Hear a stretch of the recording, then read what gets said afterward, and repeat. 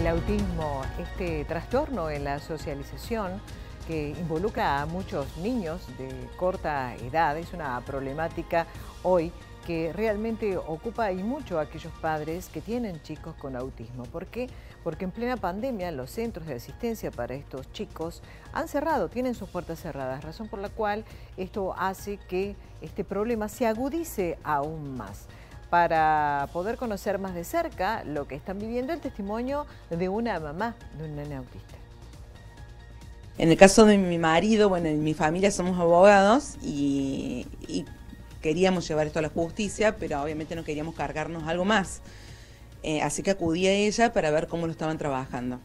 En el mientras tanto, logramos eh, tomar conocimiento de que se podían retomar terapias, pero de manera individual con prestadores que atendieran en consultorios particulares. En función de eso tuvimos que cambiar todo nuestro, nuestro grupo de terapeutas, buscando lo mejor, que a nuestro entender era lo mejor para nuestro hijo. Buscar una nueva fonoaudióloga, una nueva psicomotricista, eh, justificando la necesidad de la presencialidad.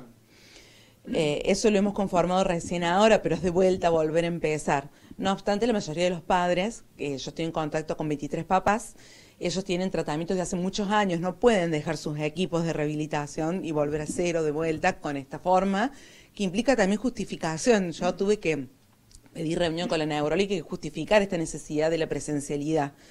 Eh, y pasarlo también con todo este protocolo a la obra social. Es un, realmente es muy difícil. Eh, contanos un poco respecto de eh, la rehabilitación. ¿Qué retroceso representa para un chico Mm, bueno, interrumpir un tratamiento de este tipo? Bueno, yo te puedo hablar en mi caso en particular.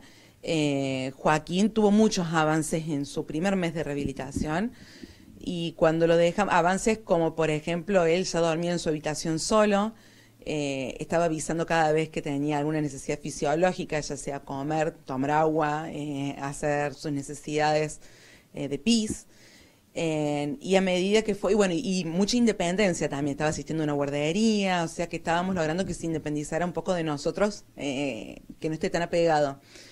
Cuando empieza el tema de la pandemia y se abandona la rehabilitación, el primer retroceso que tenemos es que Joaquín dejó de dormir solo, empezó a necesitar dormir con sus papás, eh, por más que lo trasladamos a la cama, se despierta y vuelve con nosotros, la necesidad del contacto permanente, eh, dejó de mirar mucho los ojos, que era algo que habíamos logrado, abandonó muchas palabras que él había adquirido, la comunicación, eh, y el tema de sus necesidades dejó de comunicarlas.